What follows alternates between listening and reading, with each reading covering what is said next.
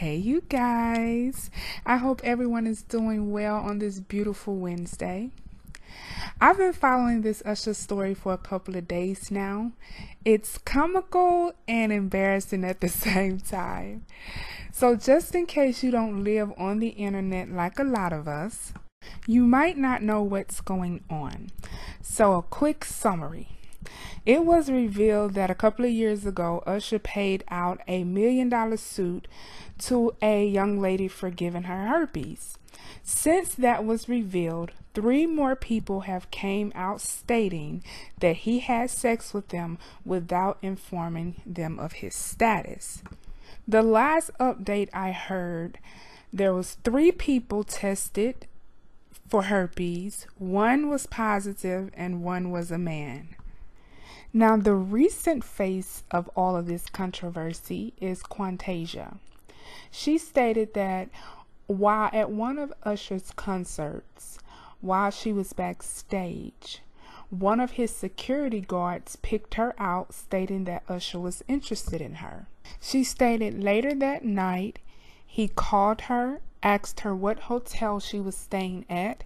He came over, they talked, and then they engaged in sexual contact. And here's a little bit of the press conference. I'll be right back so we can chit chat about this.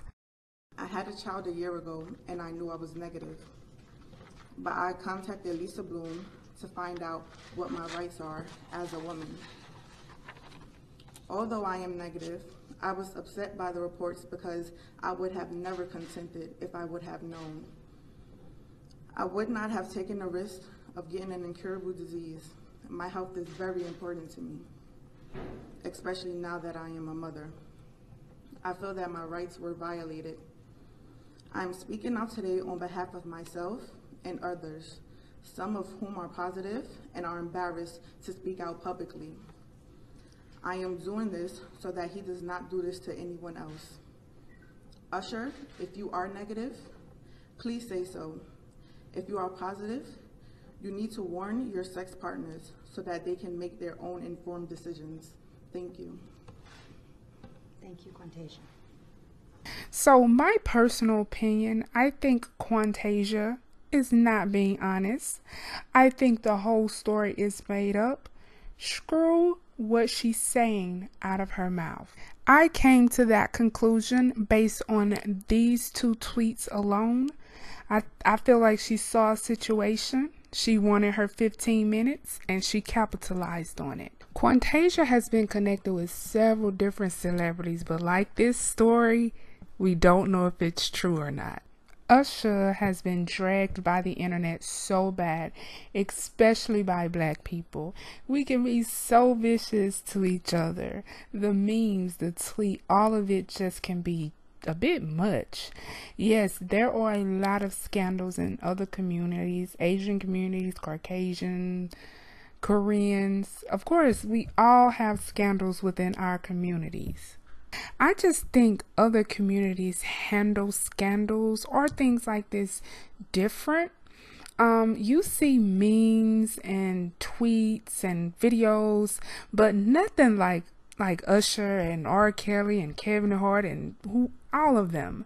Um, I can recall when Charlie Sheen came out about his HIV and how he was paying millions to keep it quiet. Even with that scandal behind him, he had so much support. He was all over talk shows, holding hands, singing spirituals. I would never understand why some people attack the way that they do. Some of these entertainers go so hard at overweight people, I just would never understand it. Charlemagne from the Breakfast Club, he goes so hard about overweight people. He has no filter when it comes to overweight people he um, it puts you in a mindset that someone overweight has maybe broken his heart or something. He reminds you of that little kid at the playground when they have nothing else to say, they call you fat and run away. Quantasia and Little Duval had a little back and forth tiff online and she let him suck her in. Now, I'm not saying that she's innocent or anything, and I don't want to insinuate that at all. But it's not about what she's accusing him of. It's about her weight, and it shouldn't be that way. Lil Duval has been a little controversial figure here recently, from the conversation about transgenders on the Breakfast Club to this. I don't really know how to take him. Um, I respect everyone's opinion. We can say what we want, right? But when your opinion starts to hurt people, like sometimes we just need to fall back instead of doubling down to prove that we're tough. And I also feel that a lot of comedians hide behind the shield of I'm a comedian just to say whatever to whomever they want. So I used to love Mystikal and Snoop Dogg.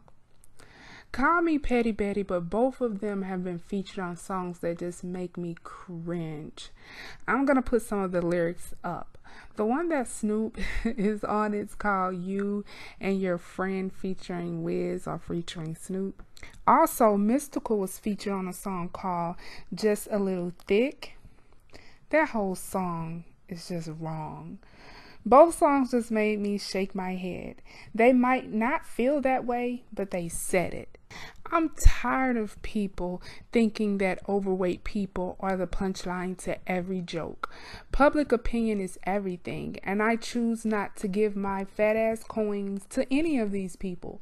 Sooner or later, these artists will feel the hurt in their pockets from what they say online and what they say in their music. Um, since Mystikal and Snoop came out with those two songs. I haven't supported them. I don't listen to their music anymore. And I'm sure I'm not the only one. So I put up some tweets so y'all can see about 1% of the things that they were saying about her just based on her appearance. I have read several posts by men saying that they will believe Usher will have sex with a man before they will believe he had sex with Quantasia. But why is that so unbelievable that Usher would be into a plus size woman? Some regular men, in air quotations, love plus size women. Some of them fetish, have fetishes for plus size women. So, to the people that don't believe it just based on her weight, do y'all really believe that no famous women or men prefer dating plus size um, people? Yes, I'm sure there are some famous people that date plus size, but it's few and far between and is hardly ever seen. I don't think just because a man or a woman is a star that takes away their preference of what they like in their mate. But them being a star does take away from their choices of who he or she can be with based on public opinion. Now, that's only if they care about public opinion. I want to know what y'all think about this. At any time when Usher was single, if he would have came out as dating Quantasia, the internet would have dragged him because she doesn't meet the standard beauty. Also, what do y'all think about the fat shaming by the celebrities? Do y'all think it helps or hurt them or no effect at all? And do y'all think that public opinion has any effect on who someone's dating? So let us know below what y'all think about this Usher madness.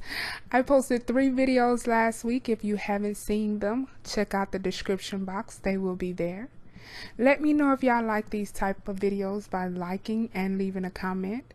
Don't forget to subscribe and click on that bell to get notifications of when I'll be uploading. Love you guys and I'll see y'all in the next one. Mwah.